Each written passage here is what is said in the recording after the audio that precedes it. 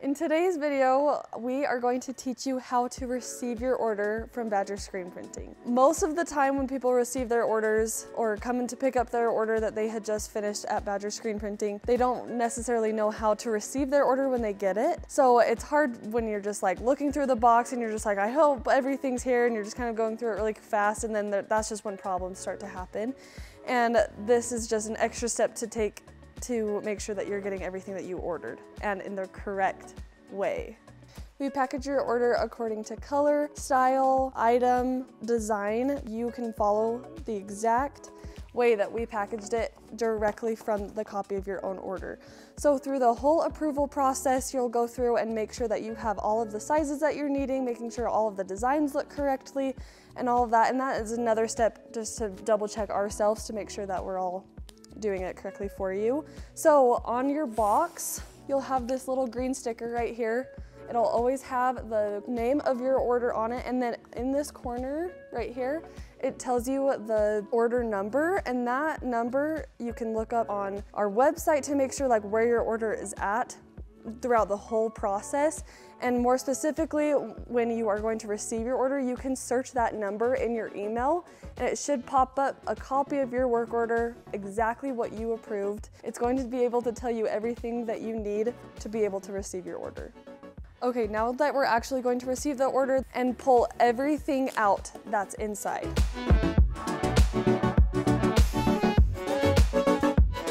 One box that I had, I had all of the designs that I needed to be able to receive my order. Anything that has larger sizes or larger quantities is going to be at the bottom because we always package with sizes first and then color and then by design. So you'll have all of your, like, say you have 3XL, 2XL, 1XL, those 3XLs are going right on the bottom. So that will help you a little bit more when you are receiving your order.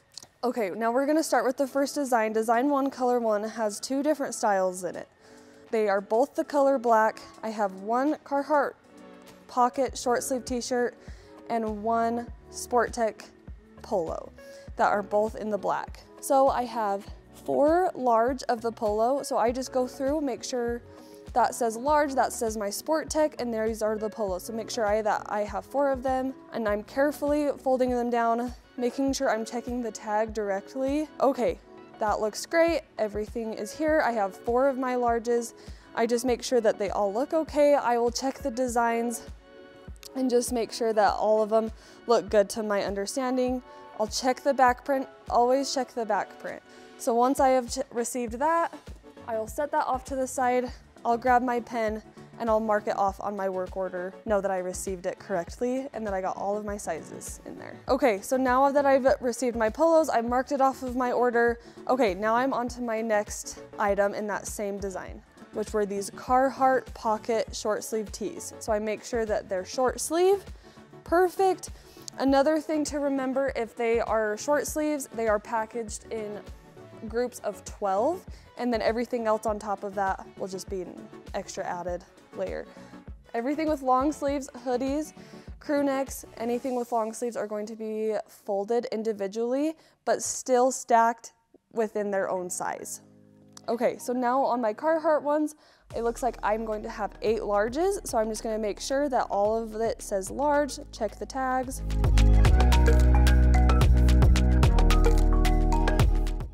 I'll just make sure, perfect, the back print looks good, and then I'll go through each one if just to make sure that all of the printing is looking great, exactly what how I would want it. And so that looks awesome. I have my eight Carhartt shirts and now I can set that off to the side and mark it off on my order. Okay, my next item is my design one color two. These ones are Carhartt sweatshirts that are heather gray they are in the they have the exact same print on them, just a different color of print. Another thing that I want to show in um, your work order is that they will have mock-ups of what the designs are.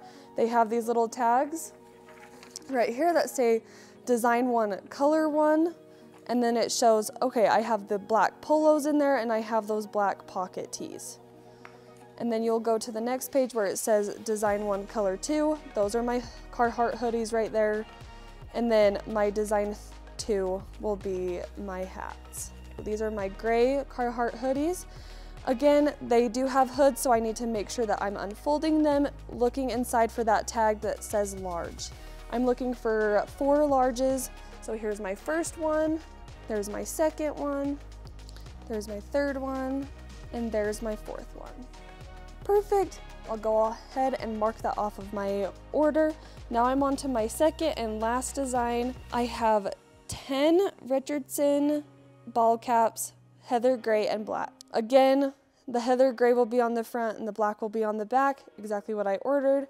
It's just this print on the front, left panel, and I'll double check that with my mock-ups as well to make sure it all looks good. And then I'll just count 10. One, two, three, four, five, six, seven, eight, nine, ten. If there are any discrepancies on what was ordered versus what was received, then one of our sales rep can help you out and make sure that we can get everything taken care of to make sure that we have some happy customers.